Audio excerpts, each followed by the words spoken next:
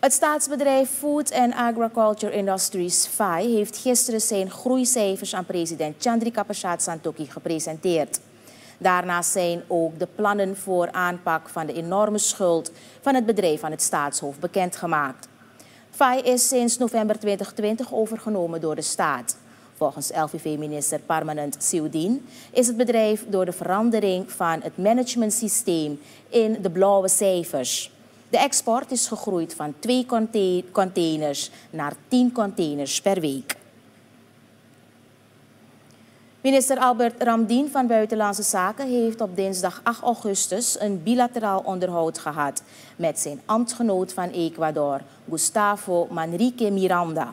Dat gebeurde in Belém tijdens de meeting van de ACTO, de organisatie voor het verdrag van de Amazone-samenwerking.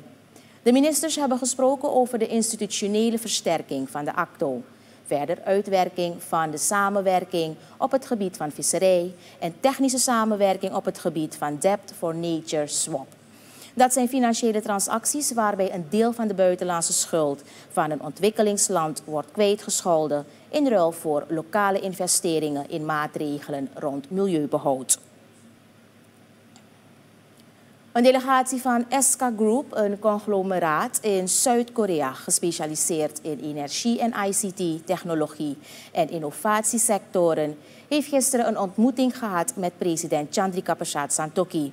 De Zuid-Koreaanse ondernemers vertoeven momenteel in ons land om hun expertise en ervaring te delen op het gebied van onderwijs, economische ontwikkeling en technologische ondersteuning. Deze ideeën moeten bijdragen aan de ontwikkeling van de economie van Suriname.